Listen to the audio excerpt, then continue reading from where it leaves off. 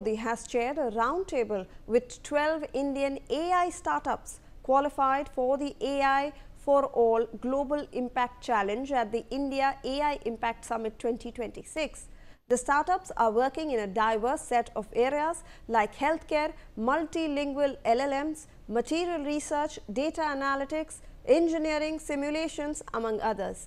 Startups highlight the rapid growth and vast future potential of the AI sector and observe that the center of gravity of AI innovation and deployment is beginning to shift towards India.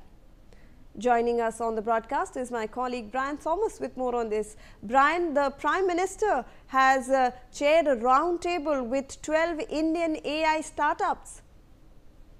Uh, well, yes, uh, 12 Indian AI startups that have qualified for the AI for All Global Impact Challenge under the upcoming India AI Impact Summit 2026 presented their ideas and innovations during this very roundtable, like you mentioned, chaired by the Prime Minister. These startups are working across a wide range of sectors.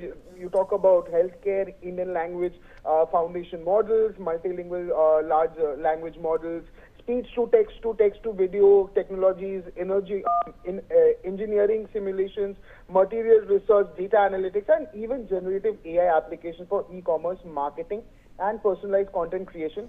The participating startup highlighted rapid growth and even immense uh, future potential of India's AI sector, not noting that the global sector of AI innovation and deployment is increasingly shifting towards India and also commented that the government's strong commitment to building a robust and enabling uh, artificial intelligence ecosystem positioning India prominently on the global AI map itself. And even addressing the roundtable, the Prime Minister underscored the transformative role of AI in society and said that the upcoming India AI Impact Summit to be held next month would further strengthen India's leadership in the technology space and also said that the AI startups and entrepreneurs and co-architects of India's future, rather are uh, co-architects of India's future, adding that the country has both the capacity uh, for cutting-edge uh, technologies and innovations for large-scale uh, implementation. Yes.